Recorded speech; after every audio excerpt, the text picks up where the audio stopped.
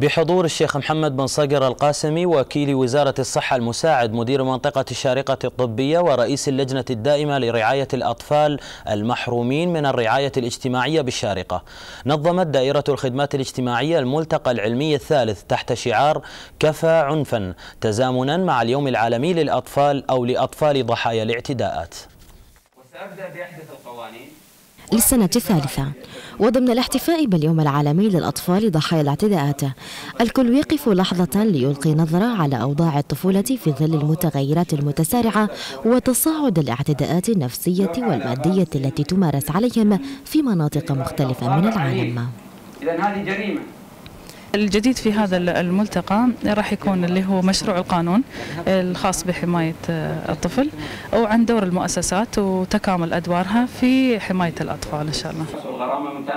كفى عنفا شعار الملتقى الذي من خلاله طرحت أوراق العمل التي ألقت الضوء على الحماية القانونية للأطفال من الاعتداءات في القوانين المحلية والدولية لتكون الورقة الثانية دراسة ميدانية عن واقع الإساءة للأطفال في مجتمع دولة الإمارات.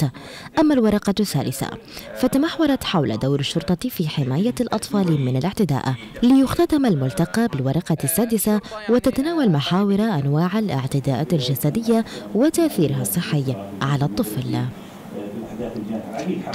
وجود سياسة اجتماعية في هذا المجال سيغطي قضايا التشريعات قضايا الخدمات قضايا التدريب قضايا التوعية والأهم من ذلك قضايا إجراء دراسات والبحوث لرصد يعني حجم هذه المشكلة. الملتقى ينظر في الاعتداءات التي يتعرض لها الأطفال وأسباب هذه المشكلة. ليس هذا فحسب بل يضع سياسة وجهود دولة الإمارات والتشريعات المحلية التي تحفظ للطفل كرامته وتؤمن حقوقه والتي تتماشى مع النظم والقوانين الدولية لحماية الأطفال. هناك يعني جهد من وزارات الدولة وأيضا الهيئات والمجالس المختصة والدوائر المحلية بتعزيز حقوق الطفل وأعتقد أن هذا الملتقى الثالث وغيره يعزز نشر ثقافة حقوق الطفل وحماية الطفل.